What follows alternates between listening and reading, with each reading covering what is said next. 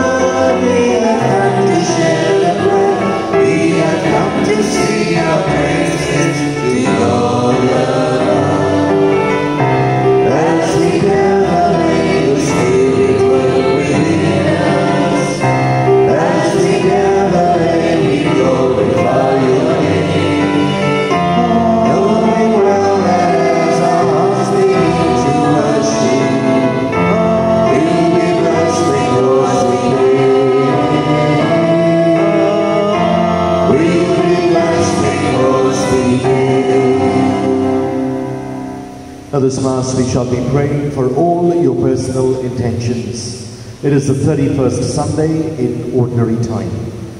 In the name of the Father, and of the Son, and of the Holy Spirit, Amen. the grace of our Lord Jesus Christ, the love of God, and the communion of the Holy Spirit be with you all. And with your spirit. My dear brothers and sisters, let us first acknowledge our sins and so prepare ourselves to celebrate the sacred mysteries.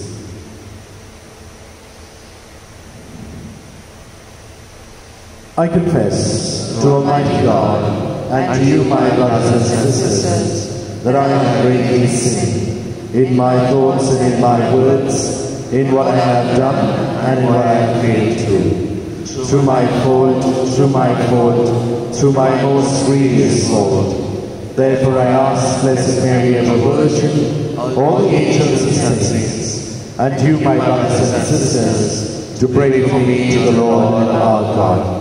May Almighty God have mercy on us, forgive us our sins, and bring us to everlasting life.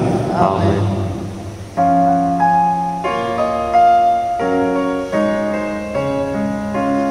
Kyrie, Kyrie, eleison.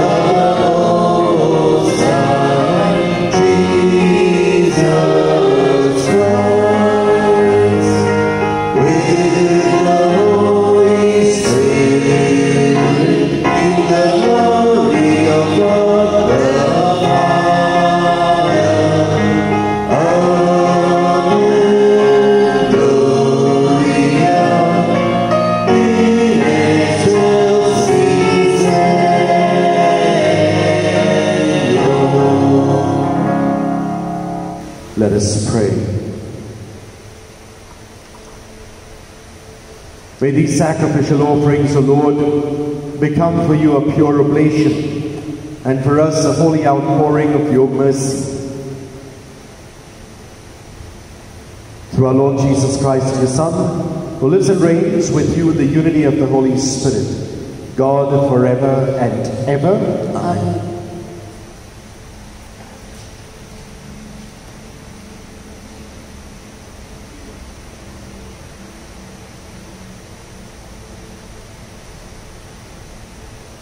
A reading from the book of Deuteronomy. Moses spoke to the people, saying, You may fear the Lord your God, you and your sons and your sons' sons, by keeping all his statutes and his commandments, which I command you all the days of your life, and that your days may be long. Hear therefore, O Israel, and be careful to do them, that it may go well with you, and that you may multiply greatly, as the Lord, the God of your fathers, has promised you, in a land flowing with milk and honey. Hear, O Israel, the Lord our God, the Lord is one. You shall love the Lord your God with all your heart and with all your soul and with all your might. And these words that I command you today shall be on your heart.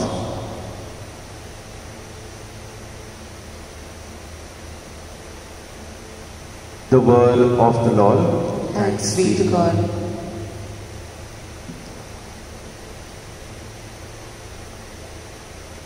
Our response to God's word is, I love you, Lord, my strength.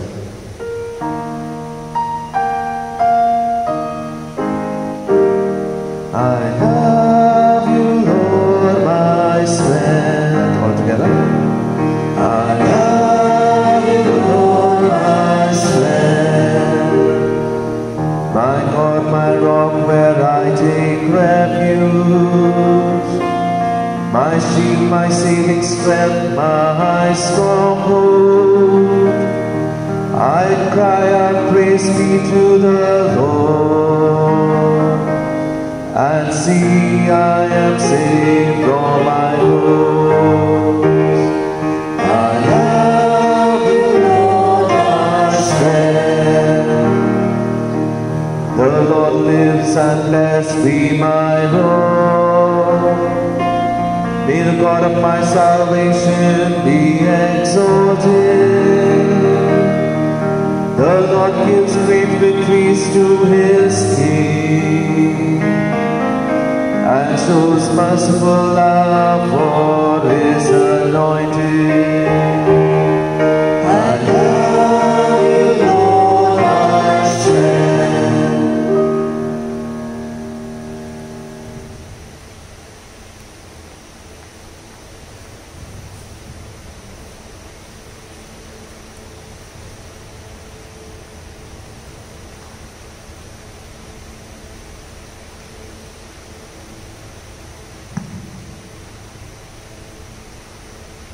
A reading from the letter to the Hebrews. Brethren, the priests were many in number because they were prevented by death from continuing in office, but he holds his priesthood permanently because he continues forever. Consequently, he is able to save to the uttermost those who draw near to God through him, since he always lives to make intercession for them. For it was indeed fitting that we should have such a high priest, holy, innocent, unstained, separated from sinners, and exalted above the heavens. He has no need, like those high priests, to offer sacrifices daily, first for his own sins and then for those of the people. Since he did this once for all when he offered up himself. For the law appoints men in their weakness as high priests, but the word of the oath, which came later than the law, appoints a son who has been made perfect forever.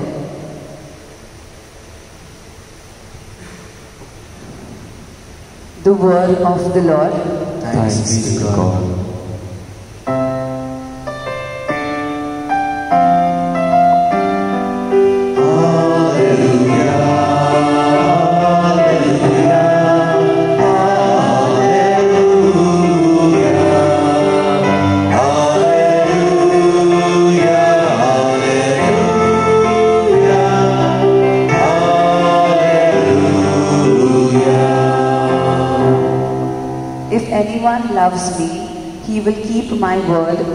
the Lord, and my Father will love him, and we will come to him.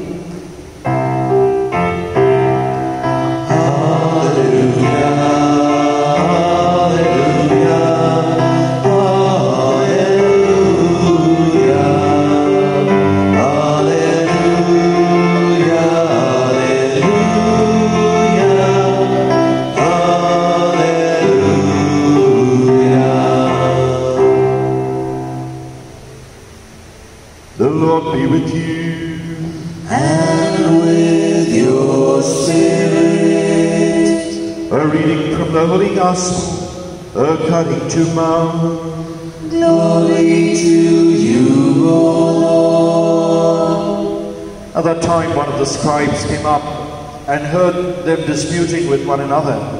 And seeing that, he answered them well, asked him, Which commandment is the most important of all? And Jesus answered, The most important is, Hear, O Israel, the Lord our God, the Lord is one. And you shall love the Lord your God with all your heart, and with all your soul, and with all your mind, and with all your strength. The second is this shall love your neighbor as yourself. There is no other commandment greater than these. And the scribe said to him, You are right, teacher. You have truly said that he is one, and there is no other besides him. And to love him with all the heart, and with all the understanding, and with all the strength, and to love one's neighbor as oneself is much more than all whole burnt offerings and sacrifices. And when Jesus saw that he had answered wisely, he said to him, You're not far from the kingdom of God. And after that, no one dared to ask him any more questions. The Gospel of the Lord. Praise to you, Lord Jesus Christ.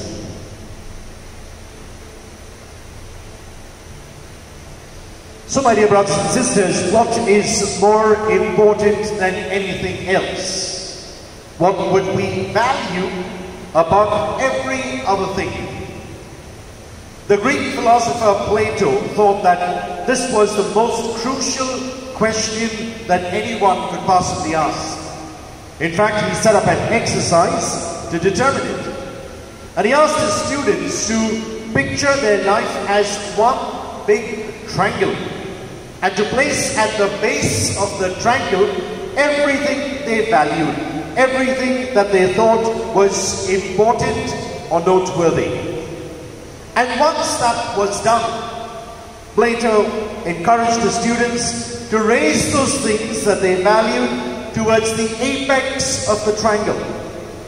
Now, of course, as they pushed things up, there was less and less space. And so things that were less important had to be left aside.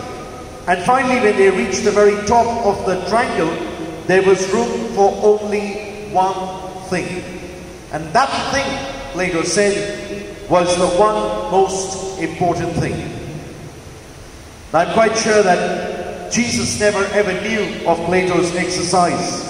And it might seem that if he engaged in it, he would be unable to determine only one thing that is most important.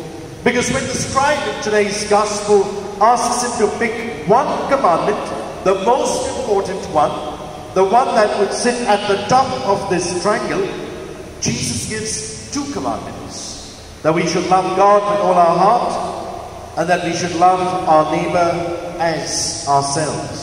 So it seems that Jesus cannot narrow it down to one.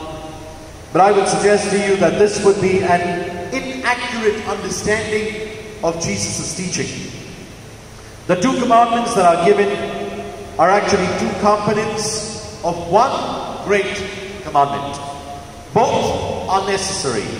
Each is one side of the same coin, and together they form the one great commandment that is most important of all. Since this is Jesus' central teaching, it would serve us well, my dear brothers and sisters, to reflect why we need both of these commandments. Why neither can stand on its own. Or to put it this in other terms, why we cannot love our neighbor without loving God, or why we cannot love God without loving our neighbor. Now let's take the easier question first. Why is it impossible to love God without loving our neighbor? The answer is simple. Unless we are willing to love our neighbor, unless we are willing to give ourselves in service to those in need, unless we are willing to reach out in generosity and in sacrifice, our love of God is nothing else but hypocrisy. If we are unable to love those around us, then our prayer to God and our love of God is empty. If we are unwilling to give of ourselves to others, then our love of God is merely a matter of words or pious practices. It might make us feel good, but it has no substance. It's not based on reality. The first letter of John tells us that those who say they love God but hate their brothers and sisters are liars. Because how could they say that they love God whom they cannot see and at the same time refuse to love their brothers and sisters who they do see? So, love of God without love of neighbor is empty, it is hypocrisy. Now, how about the other way around? Why is love of neighbor without love of God deficient? Why do we need to love God if we are truly going to love our neighbor? And perhaps this is a more difficult question, isn't it? But the answer is this love of God gives us the freedom to love others even when it is difficult, even when it is not at all practical. It's easy to love those who love us in return, but how can we love those who are constantly hurting us? How can we love our enemies? We cannot love them for their sake, but we can love them for God's sake. We can love them because we love God. The love of God gives us the ability, my dear friends, to love others, to love the earth, even when that love is not reciprocated, even when it produces few results. Our Jewish brothers and sisters call this kind of a love mitzvah. It means it is commanded. We do it because God expects it of each one of us, and we love the God who loves us. This kind of loving, my dear brothers and sisters, is absolutely free. Free from the limitations of perhaps strategies, the limitations of success. We love because God asks us to love, and that love is without any strings attached. Jesus gives us a great commandment. But that great commandment has two essential parts love of God and love of neighbor. Both are required.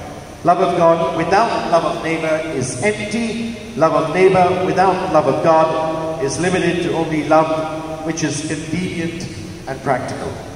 But these two loves together, my dear brothers and sisters, form one great commandment. They sit at the very pinnacle of the triangle of life. They are the most important thing, and they are our only entry into the kingdom of God.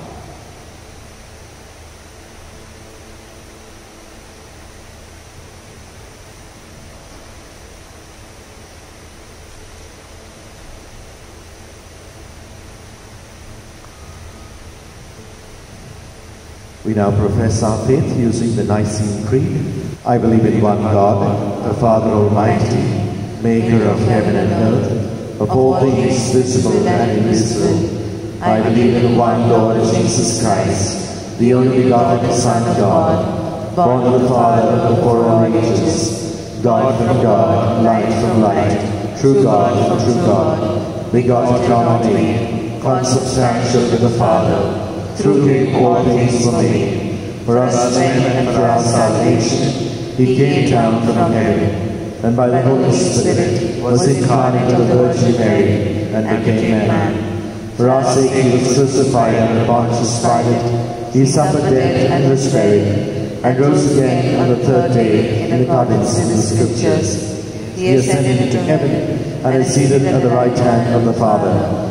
He will come again in glory to judge the living and the dead, and his kingdom will have no end. I believe in the Holy Spirit, the Lord giver of life, who proceeds from the Father and the Son, who the Father and the Son is adored and glorified, who has spoken through the prophets. I believe in one holy and Apostolic Church. I confess one baptism for the forgiveness of sins, and I look forward to the resurrection of the dead and the life of the world to come. Amen. God provides for the needs of his children. As people of faith, we present the needs of our church and the world to our generous Father. And our response will be, Lord, in mercy, hear our prayer. All together, Lord, in in mercy, hear our prayer. that the church may always keep focused on Christ and on the mission to proclaim God's kingdom. We pray to the Lord. Lord, in mercy, hear our prayer. that leaders of nations and all in authority may govern with wisdom, understanding, and a special care for the poor. We pray to the Lord. Lord, in mercy, hear our prayer. that we may have the grace to see and love each other as a neighbor like ourselves, including the unborn, the outcast, the burdensome, the stranger, and the criminal. We pray to the Lord Lord, in mercy, hear our prayer. that the deceased members of our families may be welcomed into the presence of God's love for eternity. We pray to the Lord Lord, in mercy, hear our prayer. For the intentions we now pray in the silence of our hearts.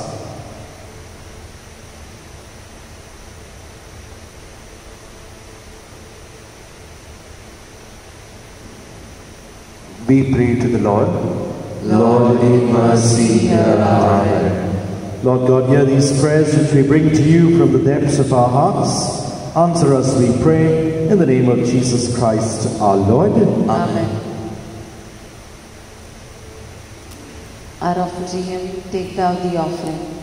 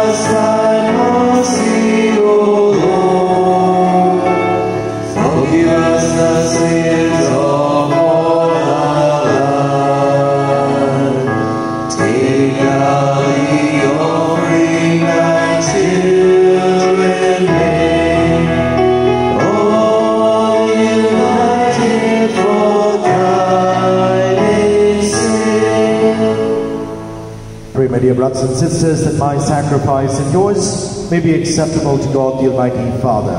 May the Lord accept this sacrifice at your hands for the praise and glory of his name, for our good of all his holy church. Look, we pray, O Lord, on the offerings we make to your majesty, that whatever is done by us in your service may be directed above all to your glory, through Christ our Lord. Amen. The Lord be with you. And with your spirit, Lift up your hearts. we lift them up to the Lord. Let us give thanks to the Lord our God. It is right and just. It is truly right and just, our duty and our salvation, always and everywhere to give you thanks, Lord, Holy Father, Almighty and eternal God.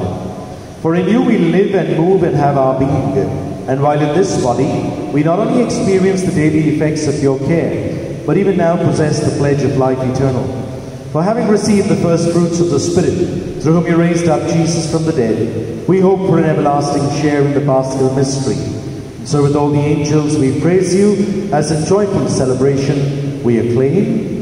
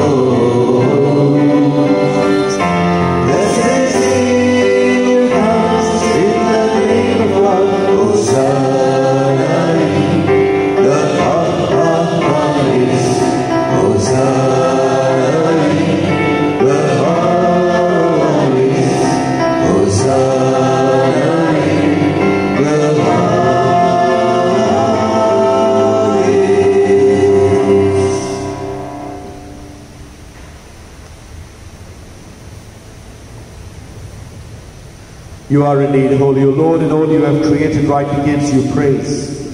For through your Son, our Lord Jesus Christ, by the power and working of the Holy Spirit, you give life to all things and make them holy.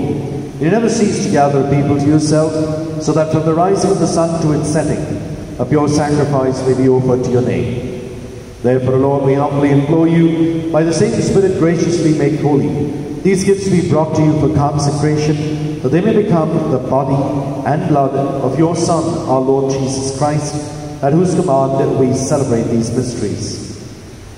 From the night he was betrayed, he himself took bread, and giving you thanks, he said the blessing, broke the bread, and gave it to his disciples, saying, Take this, all of you, and eat of it. For this is my body, which will be given up for you.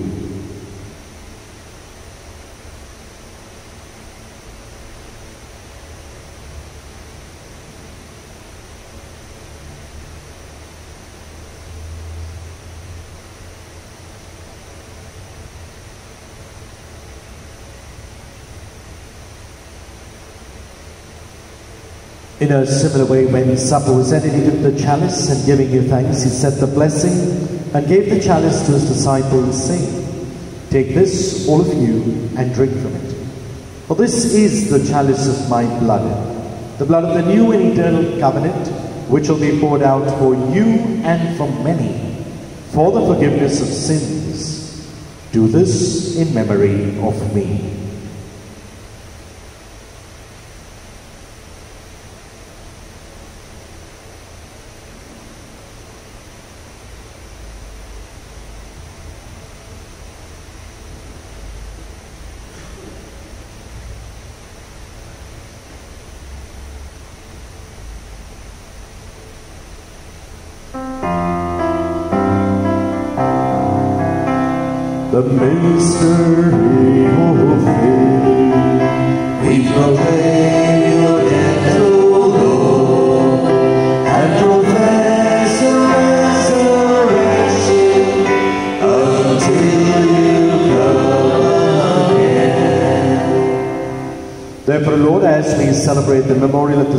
Passion of your Son, his wondrous resurrection and ascension into heaven, and as we look forward to his second coming, we offer you in thanksgiving this holy and living sacrifice. Look, we pray upon the oblation of your church, and recognizing the sacrificial victim by whose death you will to reconcile us to yourself. Grant that we who are nourished by the body and blood of your Son, and filled with his Holy Spirit, may become one body, one spirit in Christ. May he make of us an eternal offering to you, so that we may obtain an inheritance with your elect, especially with the most blessed Virgin Mary, Mother of God, with blessed Joseph, her spouse, with your blessed apostles and glorious martyrs, and with all the saints on whose constant intercession in your presence we rely for unfailing help. May this sacrifice of our reconciliation, we pray, O Lord, advance the peace and salvation of all the world. Be pleased to confirm in faith and charity your brilliant church on earth with your servant, Francis our Pope, and Oswald our Bishop, the order of bishops, all the clergy, and the entire people you have gained for your own. Listen graciously to the prayers of this family whom you have summoned before you. In your compassion and merciful Father, gather to yourself all your children scattered throughout the world. To our departed brothers and sisters, and to all who are pleasing to you in their passing from this life, give kind admittance to your kingdom. There we hope to enjoy forever the fullness of your glory through Christ our Lord, through whom you bestow on the world all that is good.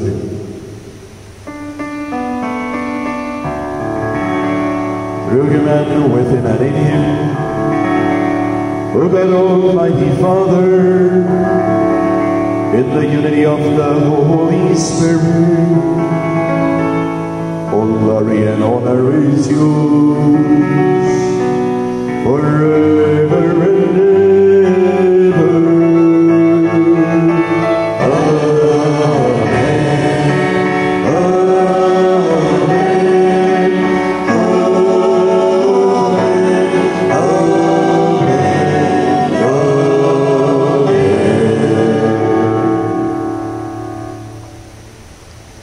At the Saviour's command, informed by divine teaching, we dare to say, Our Father, who art in heaven, hallowed be thy name. Thy kingdom come, thy will be done, on earth as it is in heaven. Give us this day our daily bread, and forgive us our trespasses, as we forgive those who trespass against us. And lead us not into temptation, but deliver us from evil. Deliver us, Lord, we pray, from every evil.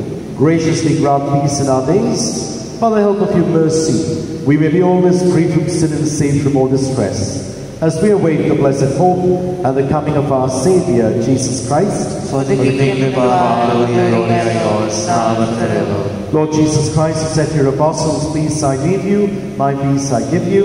Look not on our sins, but on the faith of your church and graciously grant her peace and unity in accordance with your will, who live and reign forever and ever. Amen. The peace of the Lord be with you always. And with your spirit. Let us offer each other sign of peace.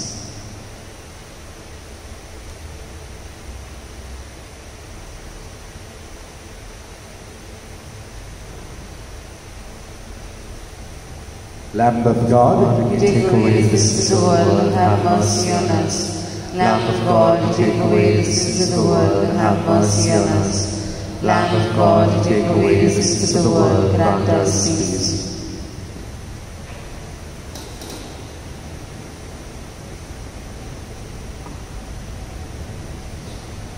Behold the Lamb of God. Behold him who takes away the sins of the world. Blessed are those who hold the supper of the Lamb. Lord, I am not worthy that you should enter under my roof, but only say the word, and my soul shall be healed.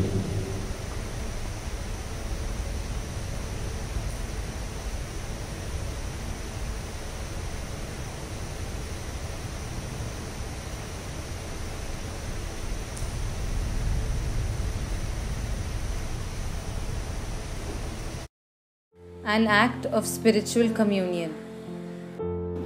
O Lord Jesus, since I cannot now receive you in your sacramental presence, I beg you to come spiritually into my soul to enrich me with your holy grace and make me truly your own forever. O Jesus, living in Mary, come and live in me in the spirit of your holiness, in the fullness of your power, in the communion of your mysteries, in the perfection of your ways. O divine guest, give to my soul a strong, lively faith, an unbounded trust, perfect humility, an abiding sorrow for my sins, a total abandonment to your divine will, and a perfect loving union with you in mind and heart. O sacrament most holy, O sacrament divine, all praise and all thanksgiving be every moment thine. Lord Jesus, thank you for the blessings and graces you have given me through this spiritual communion.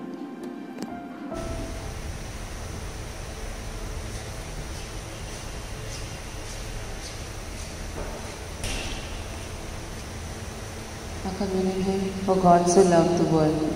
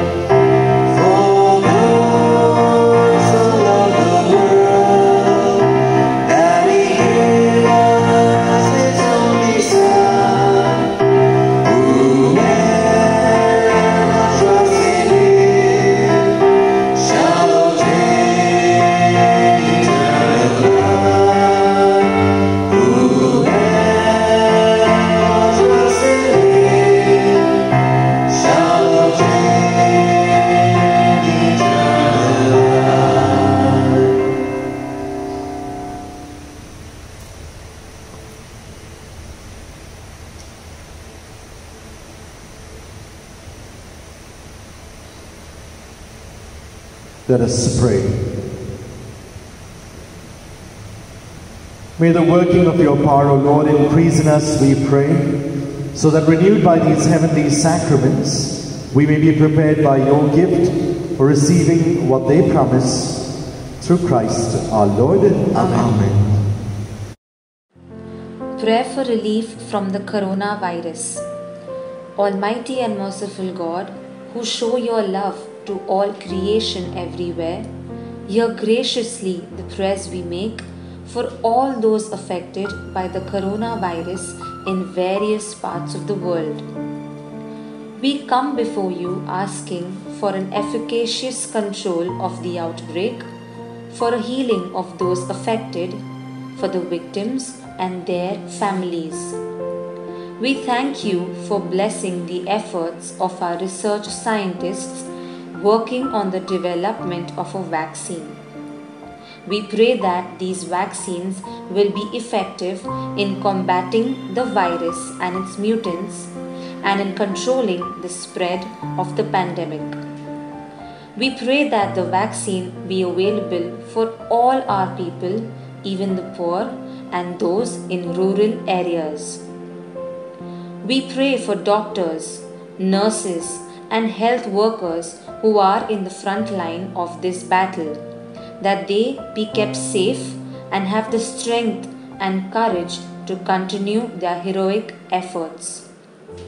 We pray for the government and health authorities that they take appropriate steps for the good of the people.